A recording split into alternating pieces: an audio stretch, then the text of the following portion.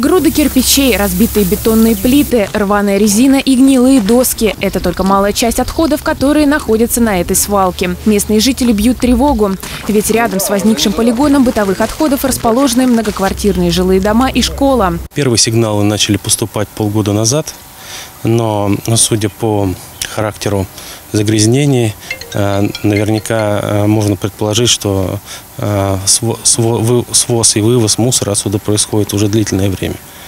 Проверка будет это установлено.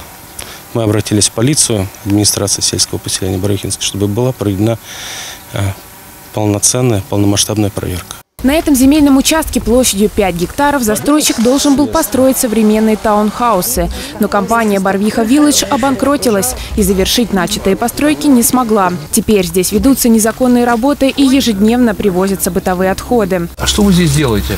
Хотим убрать, дожили А на чем вы работаете? На какой технике? На экскаваторе. Да.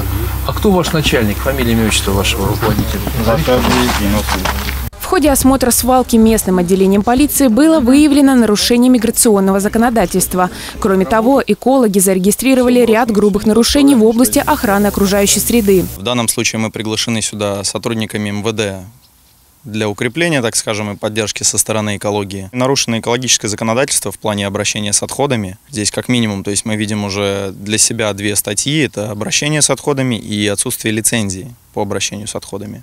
Специалистам еще предстоит провести ряд необходимых процедур, после чего судьба этой незаконной свалки будет окончательно решена. Ситуацию держит на контроле местная власть. Анна Пряхина, Станислав Трифонов, телекомпания «Одинцова».